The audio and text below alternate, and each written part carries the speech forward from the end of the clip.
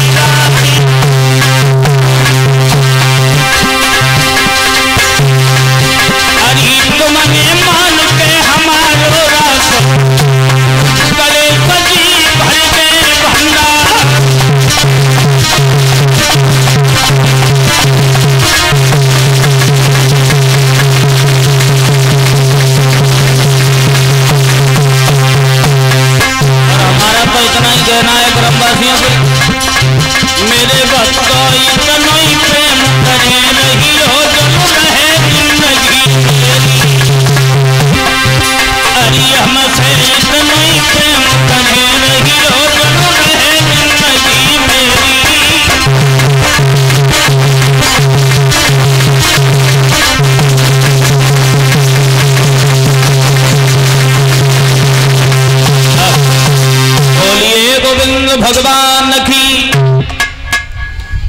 जयकारो बोल वो कम कर दो। महारानी मन खारो खारो जमुना देखो पानी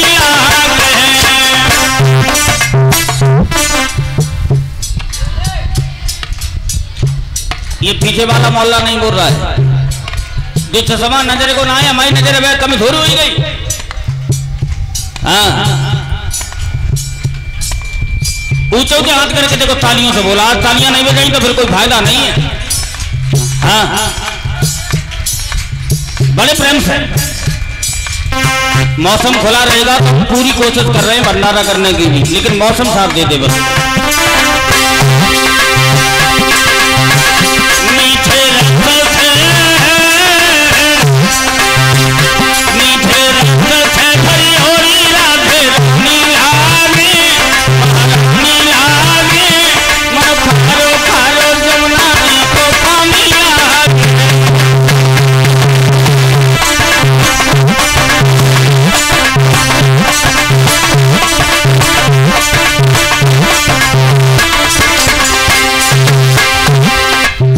अब बोलेंगे।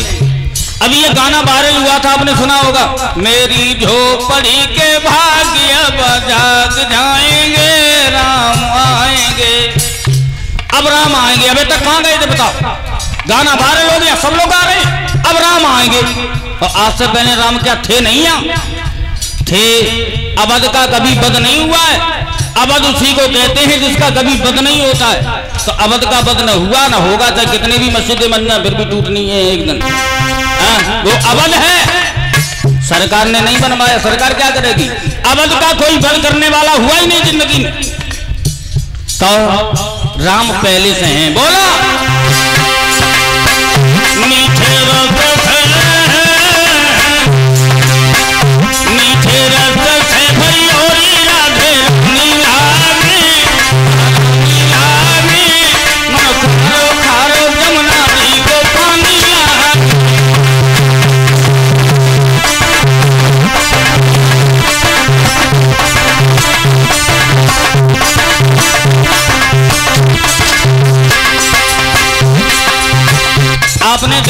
होगा। श्याम हमेशा जमुना के किनारे रहते थे। राधा भी जाया करती थी। महाराज जो है नितबन में हुआ। आप, आप देखा होगा जमुना जी के किनारे जो नितबन बना हुआ है।